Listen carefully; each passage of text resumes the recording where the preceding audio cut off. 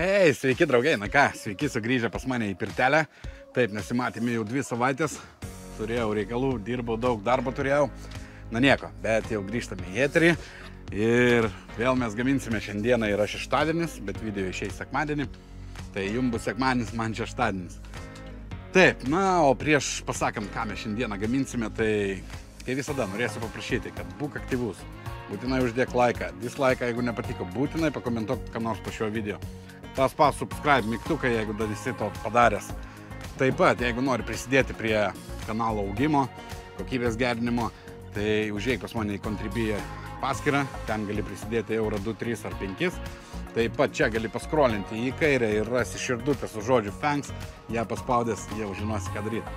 Na ką, toks intro, o toliau važiuojame, ką mes šiandien gaminsime. Teikit arčiau. Taip, kaip matote, pas mane ant stalo yra vištienos sparneliai. Tai šiandieną yra šeštadienis ir mes jį pavadinsime aladiniu.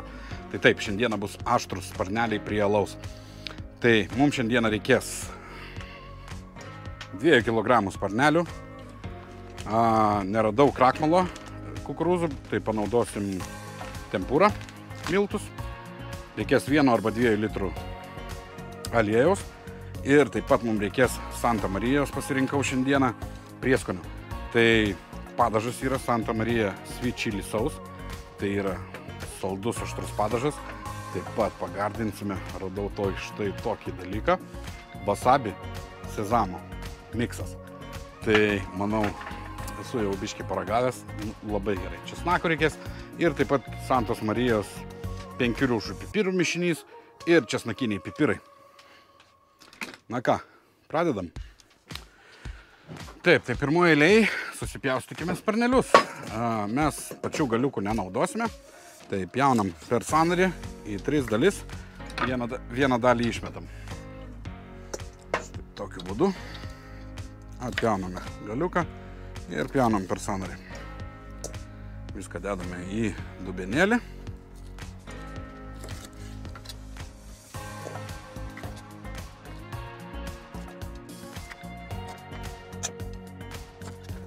Da ką, štai ir susipjaustėme mūsų visas, visus sparnelius. Tai dabar juos turėsime pasiprieskoniuoti.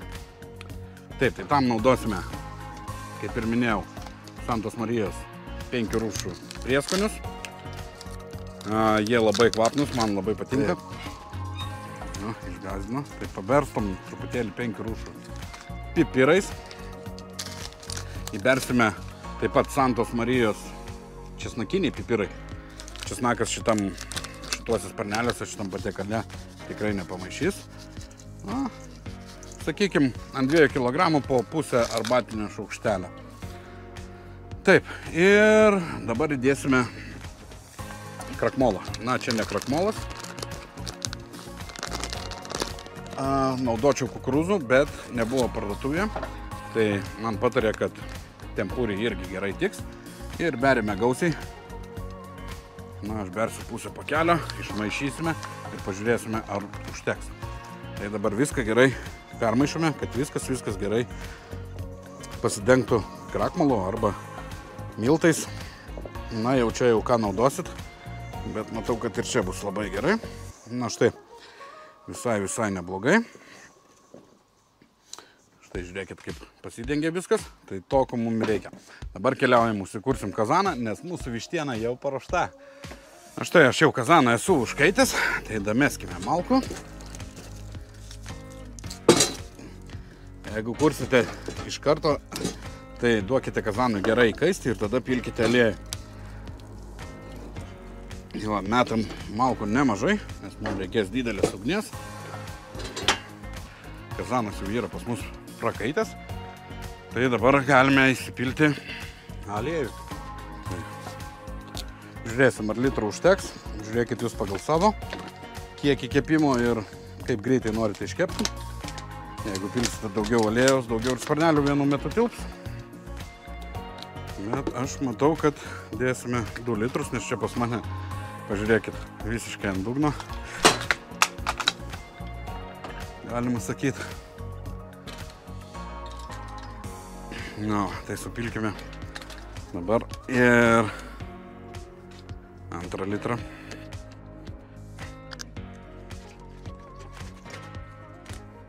Duodame dabar gerai aliejų įkaisti ir kepsime sparnelius. Na ką, o kol mūsų aliejus kaista, tai aš sugalvojau padaryti naują rubriką tarp video. Tai dabar bus kiekvieną sekmadienį, kiekviename video bus rubrika Paragaukim. Tai šiandieną, šiandieną ragausime štai tokį gėrimą. Super Monkey, pasiėmiau dviejų rušių. Man jį parekomendavo dukterėčia, tai parekomendavo paragauti. Sakė, tikrai, tikrai labai skanus. Ką paminėjo, kad skonis kaip energetinio gėrimo. Ką aš mėgstu, bet energetinių gėrimų negeriu. Čia yra gaivusis gėrimas. Taip, ką čia rašo? Lietuviškai, lietuviškai, taip.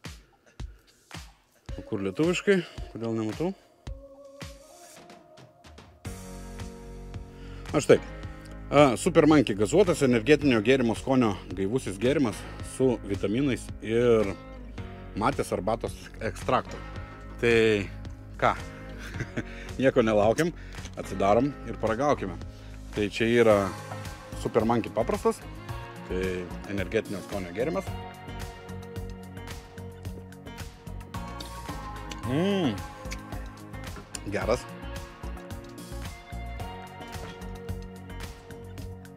Tai ne reklama, beje.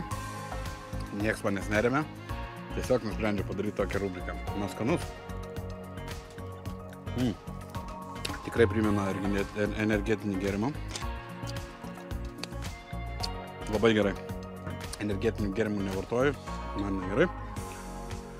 Ir ką, paragaukime ir antrą. Super Monkey Turbo Orange. Tai čia bus gazuotas apelsinų ir energetinio gėrimo skonio gyvusis gėrimas su vitaminais. Tai paragausime ir jį. Taip, Super Monkey. Visai tinka prie mano kanalo, a? Super Monkey. Atsigėręs tokio gėrimo tapsiu nebe Iron Monkey, o Super Monkey. Na taip, yra truputėlį, truputėlį apelsinų skonio, bet žymiai, žymiai mažiau energetinio skonio.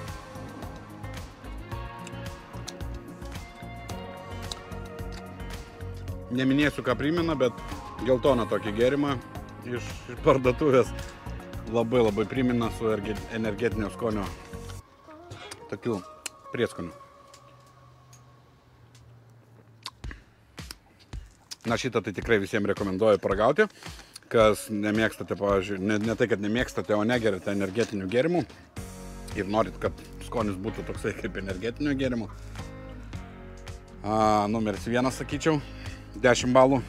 Na, o šitas, kas mėgstate saldžiai apelsinų kokį gėrimą ir truputėlį, ne, truputėlį norite energetinio gėrimo gauti, skonio biškutį, tai pasirinkite šitą. Tikrai rekomenduoju, visi pabandykite. Ah, Super monkey. Super. Na, va, tai toks buvo šiandien, šiandienos rubrika Paragaukime. Paragavome gėrimus, patiko, įvertinam ir laukiu jūsų įvertinimo. Kas ragavęs, kas tokį perkat, pakomentuokit būtinai po šio video, kaip jums ar patiko ar ne. Aš jį įsigijau iki parduotuvėje, Maximą kažkodėl neradau. Tai, na, bet mažoje Maximą radau. Tai iki parduotuvėje radau, o toliau nežinau, kur, kur jis prekiauja. Taip, būtinai dar pakomentuok po šio video, ką norėtume kitą sekmadienį rubrikoje paragaukime, kad aš paragaučiau. Tai gali būti bet kas, užkandis, surelis, nežinau, pieno produktai, na, bet kokį, bet kokį. Komentuok, ką, ką, ką tu esi ragavęs ir kas tau labai patiko ir ką, kad norėtum, kad aš paragaučiau. Taip pat galbūt kažką esi ragavęs ir labai nepatiko ir norėtum, kad aš tai paragaučiau. Pakomentuok. Na, einam keptis per nerį. Na štai, matome jau mūsų aliejus netgi pradėjo rūkti. Tai dabar dėsime mūsų sparnelius į aliejų 7 minutėm.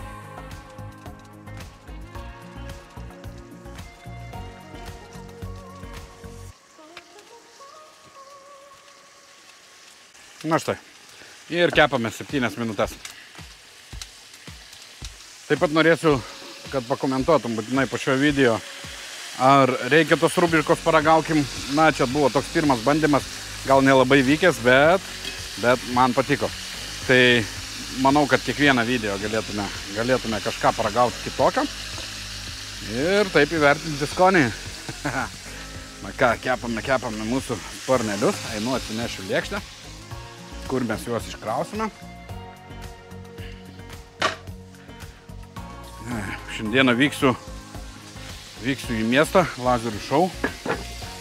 Ir tuo pačiu pakvietė draugas paragauti bufalo sparnelių. Tai vyksiu į Narauti restoraną, kavinę, barą, nežinau kaip pavadinti. Ten sakė nerealūs sparneliai. tai žiūrėsim. Nu va, jau mūsų sparneliai po biškį skrunda, praėjo 3 minutės, tai dar 4. Nu štai kepa jau apie 5 minutės, tai pažiūrėkit, kaip gražiai jie skrunda. Tai, tai dar 2 minutės pakepsime ir jau galėsime traukti ir dėti antrą reisą. mm, kaip skaniai jaučiu, šiandien valgysim prie lūčio. Mm -hmm. Ai, pilna burvaselė. Na štai ir praėjo 7 minutės, tai galima juos traukti.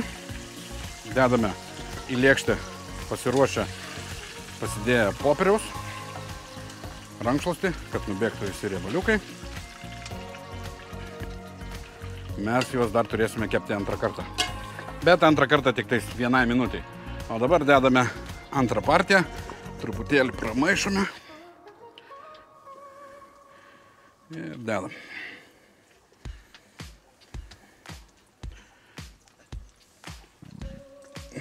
Uch. Prilipęs buvo. Biškiai apsitaškiau, nieko tokio.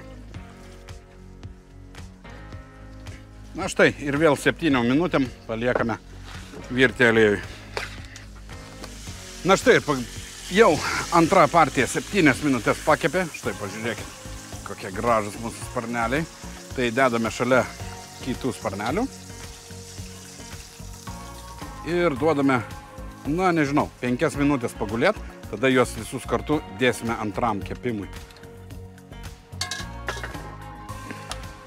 Na štai jau podas mūsų pradėjo garuoti, nieko nelaukime ir dedame mūsų visus sparnelius atgal vienai minutiai.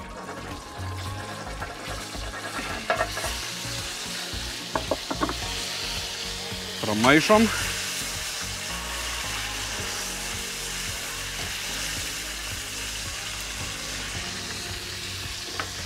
Ne daugiau vienos minutės.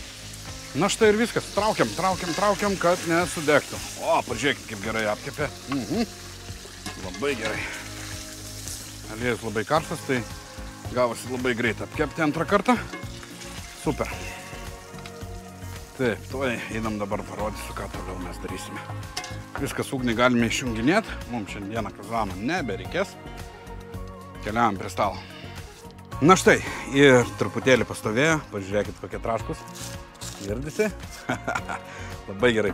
Tai dabar pasiemam dubenėlį ir persiberiam į dubenėlį viską. Mhm, šuniukam nukrito vienas, na nieko. Taip, toliau. Mums reikės Santa Marijos sweet chili sauce. Tai yra saldžiai aštrus padažas. Kodėl jį naudoju? Aš jį naudoju jį seniai. Na, man skonis jo labiausiai patinka. Ir pilam negailėdami apie pusę butelio ant 2 kg sparnelio. Dabar mums reikia juos viską permaišyti. Ir viską gerai permaišome. Taip, kad kiekvienas sparnelis gautų mūsų padažo. Geriausia daryti su mediniu šaukštu tai, bet dabar po ranka neturiu. O, net spraksi viskas ten. Na štai, viską gerai, gerai išmaišome. Išmaišome ir pilsime į lėkštutę. Na ką, viską gerai išmaišėme. Tai dabar berkime į mūsų lėkštę. Taip.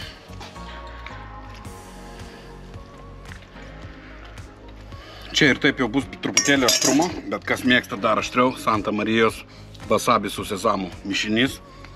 Tai yra superinis, tuo pačiu ir papuoš mūsų vištieną. Žiūrėkit, kas nemėgsta taškį, tai geriau arba nedėkit, arba labai labai minimaliai. Aš mėgstu, tai aš deduosiu daugiau. Ir taip pat žiupsnelį sezamo sėklų pabarstykime, kad atrodytų viskas labai gražiai. Na štai, štai ir mūsų vištiena pagaminta, keliaujam prie stalo, paragausim. Na ką, štai ir mūsų sparneliai prie alaus. Šeštadieniai puikiai, puikiai pagaminti, pažiūrėkite. Mhm, o kvapas, kvapas nerealus. Tai ką, paragausime? Nu ir griebiam. Mmm, skurelė traški. Vidus tiesiog, va, žiūrėkit, nuo kaulo. Mm, nėra. Nekreipkite dėmesio, čia yra toks maistas, vadinamas finger food. Na, labai skanu. Aš mėgstu tamsų. Prie alaus, žinokit, su draugais ar dar su kažkuo, tai jie sueis kaip semkės. Ypač jeigu dar prie kokio kašio varžybų, tai žiūrėkit, o. Opa. Mm. Labai skanu. Visiems rekomenduoju Santos Marijos būtent šį padažą. Tuo nuplausiu biškai gerklėm. Tai va, visiems rekomenduoju šitą Santos Marijos padažą, sweet and chili. Nu, superinis, jisai turi savo tekstūrą, jisai lipnus. Kiek esu išbandęs, tai, na, kiti turi savo kitokį biškį prieskonį. Na, Santa Marija man labai labai patinka. Ir taip pat, taip pat aš jums dar kartą parodysiu. Tai va šitas va dalykėlis. Ne tik, ne tik papuoš maistą, ypač sparnelius, bet ir jį paaštrins ir labai labai duos savo tokį skonį. Tai wasabi ir sezamų sėklų mišinys. Na, labai skanu. Gerai, ką, dar vieną įkertam. Ir, ir atsisveikinsiu jau iki kitą kartą. Mm. Mm. Nežinau, kaip jums ar girdisi, bet pažiūrėkit. Traška. Ko aš ir noriu, ko aš mėgstu. Aš sparnelius jau žinot, kad mėgstu labai labai.